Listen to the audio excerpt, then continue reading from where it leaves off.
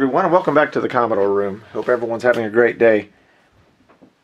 What you're looking at here is the Commodore 64 from the last video where we installed the HDMI um, converter so that we can have HDMI out on this guy. So I did finally get the uh, correct power connectors and I fixed all that up so it looks a little bit nicer here.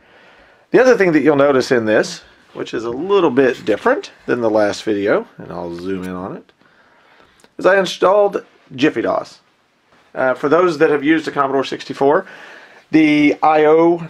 routines for the uh, Commodore and the 1541 disk drives were extraordinarily slow and painful and it's not part of the experience that I necessarily care to relive. So I try to use Jiffy DOS whenever I can to speed things up.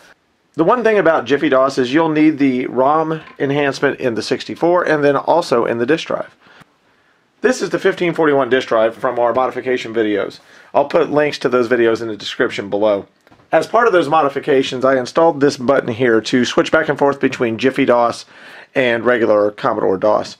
And I also as you can see, hooked up the LED to change colors depending on which ROM was enabled. And then, uh, aside from the power supply that was also modified in this to make it lighter and cooler, you'll notice that it also resets itself anytime I push the button. Now, the thing that I like about this is I can look at it and very quickly tell, am I in regular DOS or am I in Jiffy DOS? As we talked about in those other videos, certain programs, the copy protection and fast loaders would not work correctly if Jiffy DOS was installed. So you can switch back and forth in order to play the games that you want. So to me, that visual indicator is a really handy thing to have. So what I want to do to this Commodore 64 is really the same thing. So as is fairly standard on Jiffy DOS installations on a Commodore 64, there's a switch to go back and forth between stock Commodore 64 ROM and then the Jiffy DOS ROM. Like with the disk drive, I want to change the power LED to go from green to blue so that they match between the disk drive and the computer. And I can tell if they're both blue, then I know they're both in Jiffy DOS. Uh, but what I don't want to do is I don't want to use this switch. Um, I don't like that switch. I didn't like it the last video. Uh, that hasn't changed. So what I want to do is I want to modify this Commodore 64 such that when I turn it on, it automatically goes into either Jiffy DOS or the stock ROM, whichever. And then maybe when I hold a key down, maybe J or N or, or something, when I hold a key down and power the unit on, then it will switch to, the, to that other ROM or that other personality. That way I don't have this obnoxious switch hanging out up here that looks kind of dorky. So I want to modify this so it's all internal. Obviously it's got the HDMI out, which is cool, but we're going to go ahead and modify this so that when I hold a key down, it'll go back and forth when I power it up and I'm also going to put an LED in here that goes between green and blue depending on which mode the 64 is in. So what you see here is the schematic I cooked up for this project.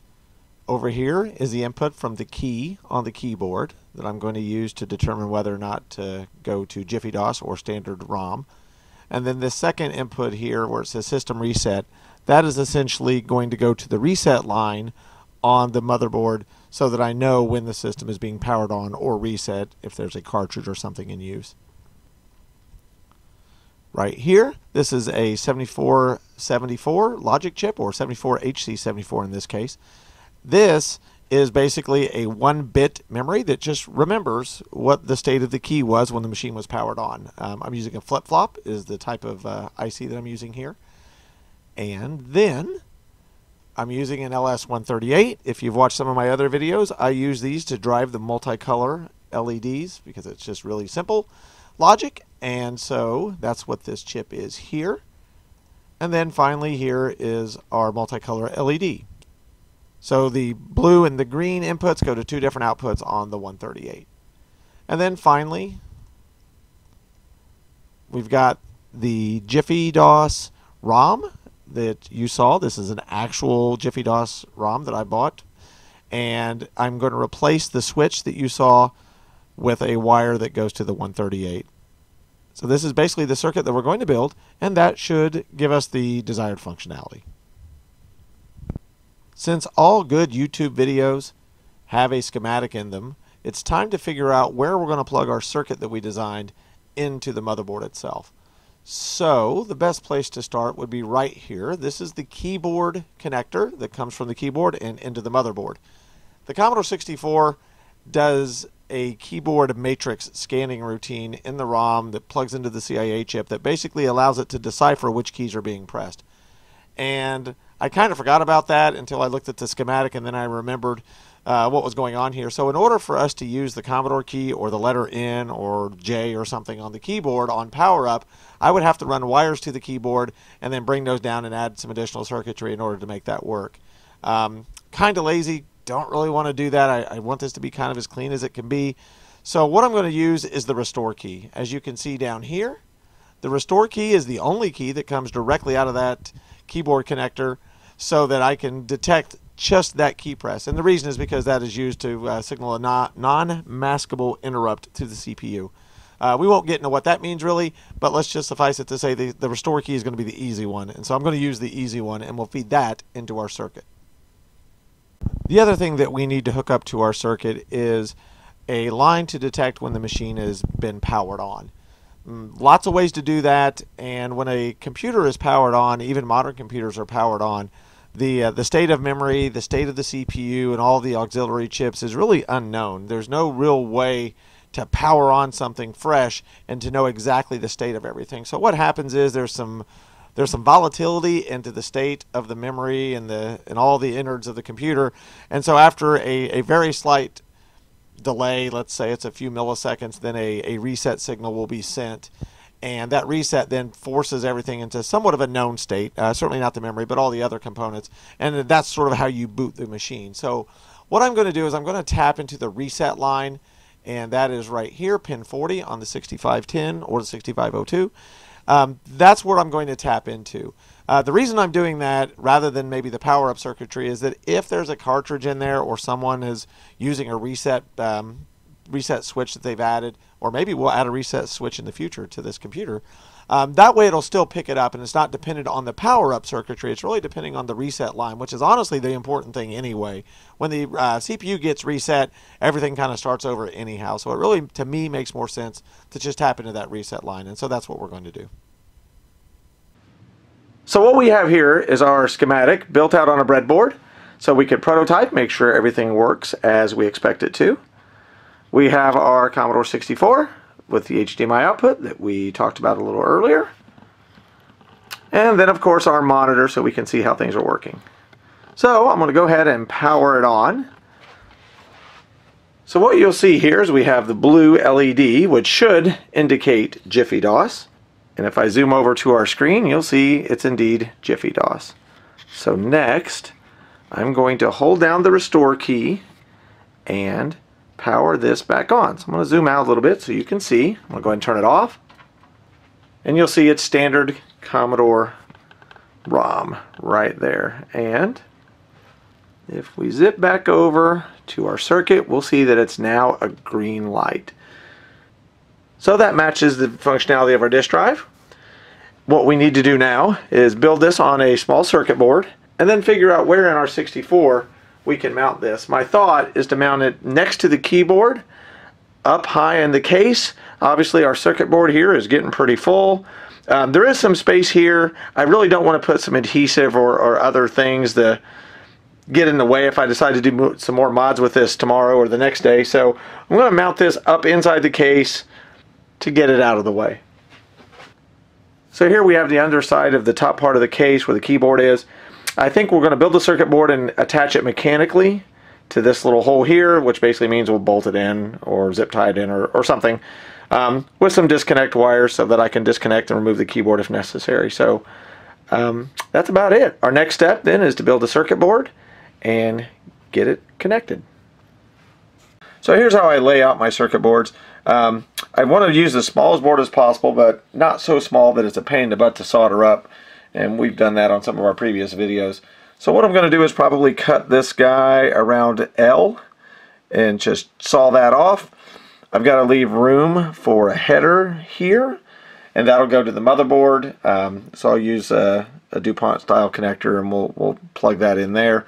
Uh, may have to go in parallel with the board just for space concerns. And then I've got this little hole here I can use to anchor that to the keyboard. So um, not a whole lot we have to do with this one. There's not too many connections as you saw in the schematic. So we're going to chop it, solder it up, and then go from there. when soldering up little projects like this, I always try to start with the closest runs first. That way I don't end up with a wire going over a connection point that I, that I need to get at. Um, so I'll do the power and the grounds first because there's usually a lot of those and I may even run a power rail if you will using some wire to connect up to and then do the closest runs and then the furthest runs. So it's pretty straightforward. Um, I do have a fume extractor, which you can't see here in the video, but it's just off to the side a little bit. And I do that just to get the fumes away so I'm not breathing all this stuff in. Um, gently blowing on the smoke, sort of pushing it to the fume extractor helps. Um, I didn't pull it all the way down because if I did that, you wouldn't be able to see you know too much of what's going on here. Uh, but the fume extractor is a good idea. Certainly, this stuff is is not great to be breathing in, but uh, it won't take us too much longer, and we'll be able to get this guy installed. And here we go. The circuit is done. The three wires go to the LED. The one single connector there goes to the Jiffy DOS ROM. And then the final connector goes to the motherboard for power, the key press, and the reset line. Okay, so there's our little board. I went ahead and I just zip tied it to the keyboard right there. I drilled a small hole and zip tied it so that it's pretty much in, in just the right spot to, for all the wires to reach. Probably could have done a better job and found a, a better way to mount it, but I guess I'm in a zip tie kind of mood.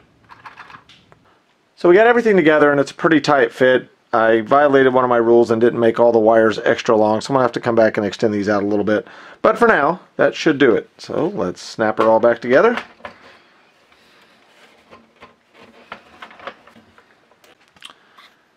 So here we have our Commodore 64. Green light means standard Commodore DOS which you can see there.